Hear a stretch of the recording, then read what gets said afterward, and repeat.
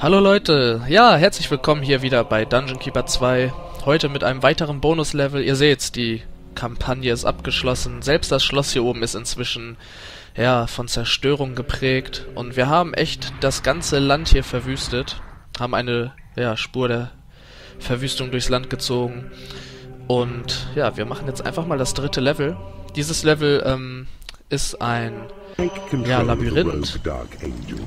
Und ja, falls ihr das selber mal zocken wolltet, solltet ihr jetzt vielleicht erstmal nicht zuschauen, denn ich kenne hier schon ähm, einige äh, Sachen, die man machen muss. Also ich muss sagen, ich habe es nicht mehr ganz im Gedächtnis, aber ich weiß noch, welche Hebel ich zum Beispiel hier in diesem Bereich äh, berühren darf, um hier durchzukommen. Und in diesem Teil weiß ich zum Beispiel auch, hinter welchen Türen sich in die Fallen verbergen und hinter welchen nicht, sowie hinter dieser. Genau. Also es gibt einige Überraschungen hier in diesem Level. Und das geht natürlich mal wieder auf Zeit. Ah, deswegen... Oh Gott, ich habe das überlebt, aber ich habe kaum noch Energie. Lasst uns das nochmal neu starten. Ähm, Restart Level. Yes. So. Es hätte einfach nicht mehr gereicht, wenn ich äh, nur noch so wenig Lebensenergie habe. Dann kann ich das nicht mehr schaffen. Denn wir haben nur vier Minuten.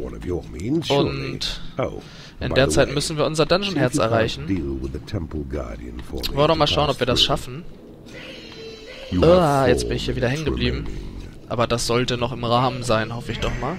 So, wir gehen hier durch. Und hoffe ich mal, dass ich es diesmal mit den Indie-Fallen besser löse als eben. Und rüber. Rüber. Rüber. Rüber. Und ich warte mal eben. Der müsste gleich kaputt gehen. Genau. So, hier gibt es auch wieder einige gemeine Fallen, die ich jetzt aber nicht auslösen werde, weil ich den Weg, den Trick hier zum Glück kenne. Und das hier ist auch recht gemein. Hier kommen wir nämlich total ins Kreuzfeuer der Wächterfallen. Aber kein Problem für uns. So, jetzt wird's interessant. Die Falle hat letztes Mal bei mir total falsch getriggert irgendwie. Gut, diesmal ging's. Rennen wir auch vorbei. Und jetzt kommt was ganz Böses. Äh, totales Wirrwarr, da werde ich mich erstmal nicht rein war. Oh, wo kam denn die noch her? Gut, damit habe ich jetzt nicht gerechnet. Und ich werde mich mal eben hier rein verstecken. Dann da vorne die in die Falle muss ich noch auslösen. So. Warten wir, bis die vorbeigerollt ist. Und warten mal, bis die zerstört wurde. Jetzt haben wir ein bisschen Energie wieder verloren. Ah, die Indie-Fallen sind teilweise halt echt ein bisschen... Ja, ähm, unberechenbar. Gut, ich renne jetzt hier durch. So. Okay. Hier an dieser Stelle werden wir uns jetzt mal unsere Skelette mitnehmen.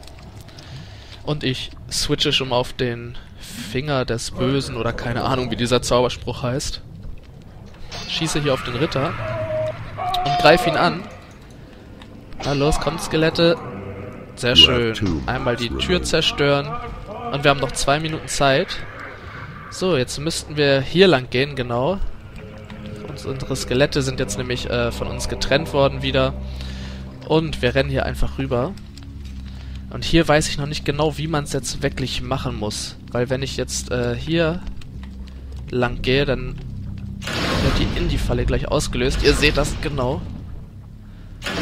Uiuiui. Da muss man echt aufpassen. Oh, die hat mich auch schon wieder teilweise erwischt. Also unsere Energie ist jetzt wirklich sehr niedrig. Und ich hau erstmal ab hier. Okay, das haben wir geschafft. Und die letzte. Na komm. Löst schon aus. Sehr schön.